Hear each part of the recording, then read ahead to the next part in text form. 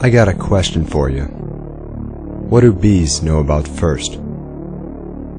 What does a team that's been to the championship and back know about the future of technology? Well, I'll tell you, more than most. You see, it's the biggest challenges that make the greatest champions.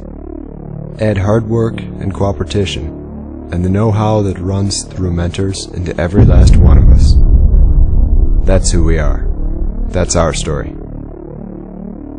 Now it's probably the team you've seen walking around an antenna, a spirit legend flying around in yellow. Because when it comes to imagery, it's about as much where it's from as how it's formed. Now we're from First, but we're no rookie when it comes to being involved in the community and in our high school, Notre Dame Prep.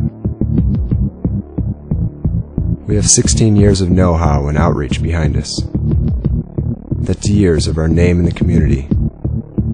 That's years of involving more and more people.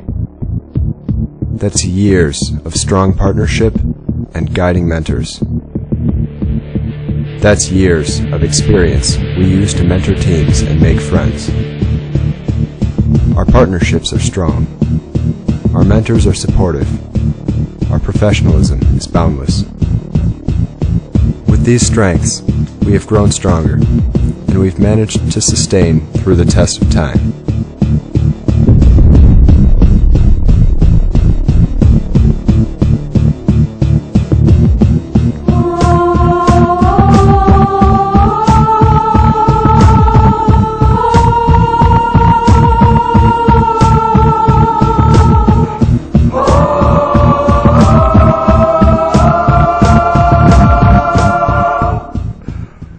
We are 33, and this is what we do.